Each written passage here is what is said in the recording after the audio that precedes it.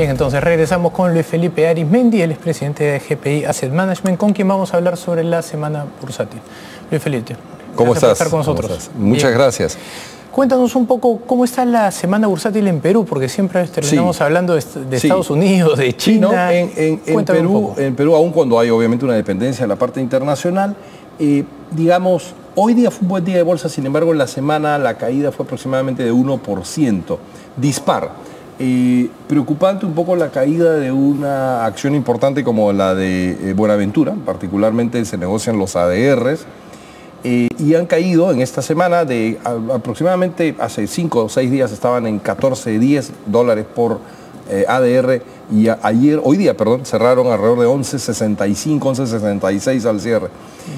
una caída importante que no se refleja únicamente por la caída en el precio del oro o de la plata o de algunos otros metales, sino porque Buenaventura está haciendo un pequeño proceso de ajuste, eh, cerrando quizás algunas operaciones poco rentables, eh, ajustando parte de su gestión y sus proyectos y entonces a veces el mercado eso lo toma un poco a mal.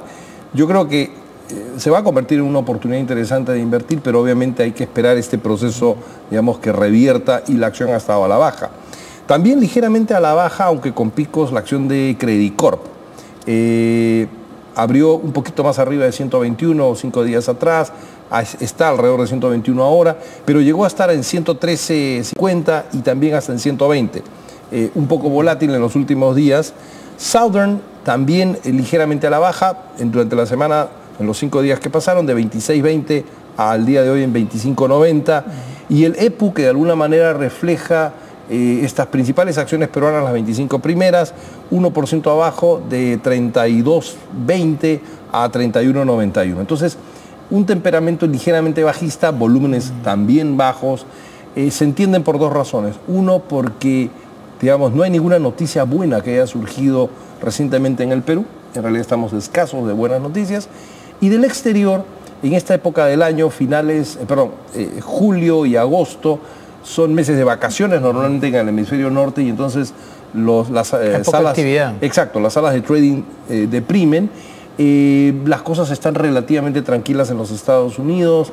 la volatilidad a niveles, el famoso VIX, entre 13 y 14, hoy día subió un poquito, pero tampoco es nada especial. Y en el caso particular de las tasas de interés, el bono a 10 años de Estados Unidos, que había llegado a estar pocos días atrás en 2.70, 2.72 como rendimiento, ha vuelto a retroceder a 2.60. O sea, eh, cuando normalmente las tasas de interés o la tasa de rendimiento del bono baja, quiere decir que la economía está relativamente más tranquila.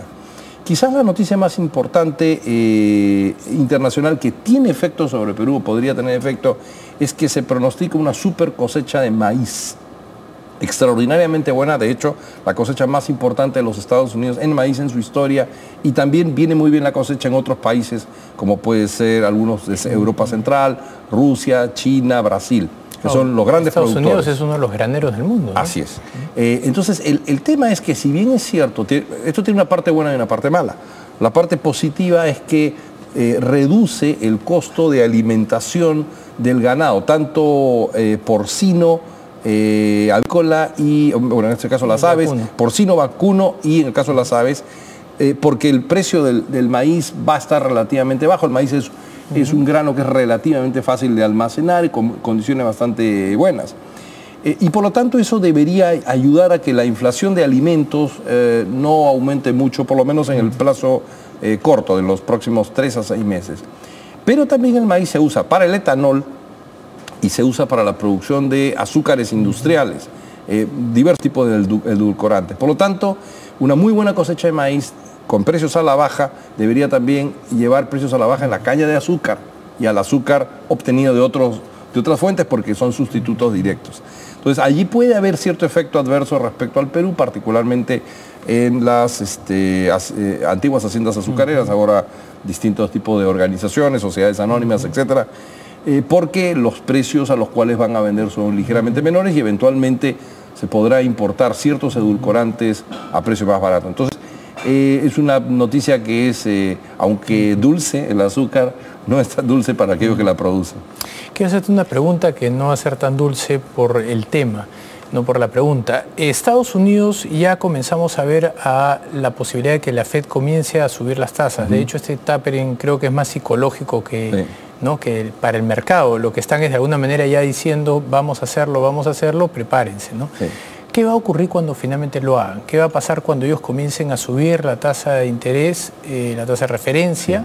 Eh, normalmente lo suelen hacer en medio punto, un cuarto de punto, pero estando tan deprimida la tasa está en 0,25, ¿verdad?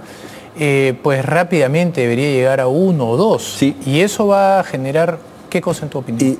normalmente la tasa, ahí hay un tema que, que, cada cierto tiempo ocurre. Las cosas tienden a regresar a su promedio, ¿no? Ese famoso efecto de mean reversion, como dicen los, los gringos. En realidad lo que va a pasar es que, por ejemplo, la tasa larga, vamos a ponerla, ni siquiera tan larga, de 10 años, que está en 260, normalmente su rango histórico con más alto nivel de probabilidad es entre 375 y 425. Por lo tanto, si estamos en 260, podría subir tranquilamente un punto porcentual más la tasa de 10 años, pero tranquilamente, sin que suceda este, nada en el mundo. La tasa de referencia efectivamente eh, debería estar incluso por encima del 1%, acercándose más al 1,5, 1,75. La tasa larga posiblemente arriba de, de, 4,5% en una curva eh, relativamente plana en la parte larga y relativamente una pendiente un poquito más alta, digamos, este, en la parte corta. Ahora bien, ¿qué significa todo esto? Para Perú. Porque lo importante es entender cómo un movimiento de 1% en una tasa puede generar una, no sé si este, recesión, pero mini... Lo que pasa es que al haber tal cantidad de liquidez a nivel global, eh, cambios pequeños en la tasa eh, originan grandes movimientos de dinero.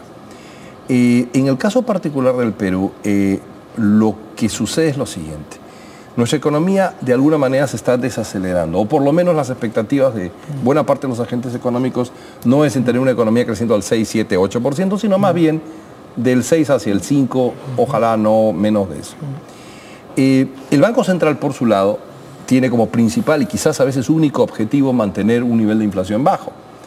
Pero si eh, el diferencial de tasas entre la tasa de referencia del Banco Central, que está en 4.25, empieza a comprimirse respecto a, la tasa de, los Estados Unidos, lo que ocurre normalmente es que el tipo de cambio se encarece. En otras palabras, el, sol, perdón, el dólar empieza a ganarle paridad respecto al sol. O sea, si pasásemos de 0,25 tasa de referencia en Estados Unidos en, en, operaciones de corto plazo a un 1,25 y eventualmente se le desacelerase la economía al, Perú y el Banco Central tuviese que bajar de 4.25 hacia, digamos, 3.75, que es razonable que pueda ponerla en ese nivel, ese spread mucho más pequeño que va a haber entre la tasa de Estados Unidos y la tasa del sol peruano, lo que debería provocar es que el tipo de cambio suba. Ahora bien, eh, Afectando nuestras exportaciones. Eh, no, más bien nos favorece a la exportación, pero encarece un poquito las importaciones y genera ciertos movimientos extraños. Por ejemplo, si, si, la percepción de la gente es que el dólar va a subir, ¿no es cierto? Y, por lo tanto el, sol va a perder valor respecto al dólar, lo que ocurre es que la economía se vuelve a redolarizar, por lo menos en el lado del, ahorro, en el lado pasivo, ¿no es cierto? Y los bancos lo que intentan es precisamente eh, calzar sus, sus operaciones. Entonces, van a haber fenómenos extraños. Eso puede causar en un primer momento, e, eventualmente un poquito que se apriete el crédito. Por, por, una razón, porque los encajes son, no son iguales. El encaje marginal del dólar en el Perú es más alto que el encaje marginal del sol.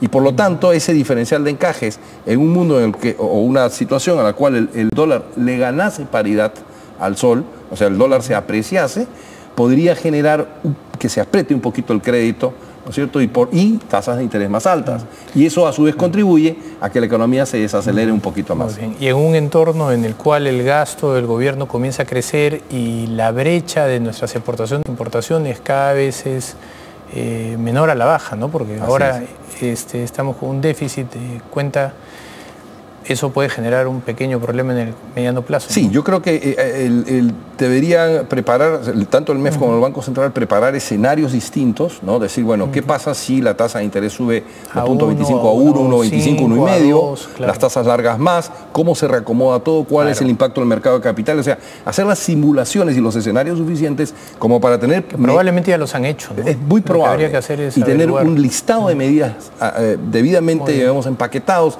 tipo paracaídas de emergencia, ¿no? O sea, si sucede algo, ¿cómo nos lanzamos? O sea, no al vacío, sino ya con algo que nos permite un aterrizaje o una reducción del crecimiento un poquito más suave. Claro, porque para los empresarios lo más importante es saber qué viene, es tener información. Así es. Va a ocurrir, ocurra, pero saber más o menos por dónde va a ir el gobierno. así es.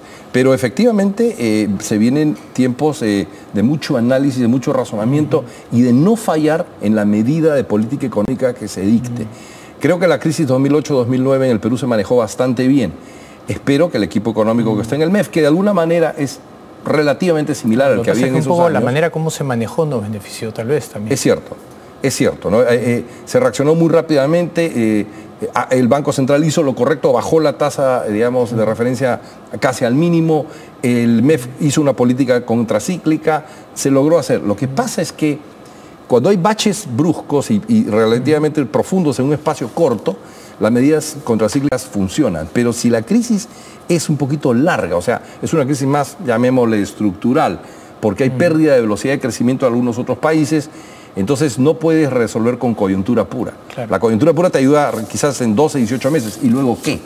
Entonces allí creo que hay que medidas de mayor profundidad, ¿no? este, que impliquen, por ejemplo, mejores mecanismos de atracción de inversión privada, y, eh, nacional y extranjera, mejores procesos de asociación en, público-privada, desarrollo de infraestructura, eh, digamos, eh, profundizar. La gente que ya conocemos, lo que pasa es que hay falta de liderazgo para hacerlo. sí. Muy bien, te agradezco mucho, Felipe. Gracias a ti.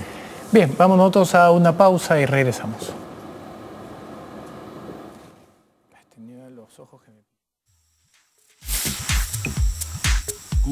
Puedes lograr. Scotiabank descubre lo que puedes lograr.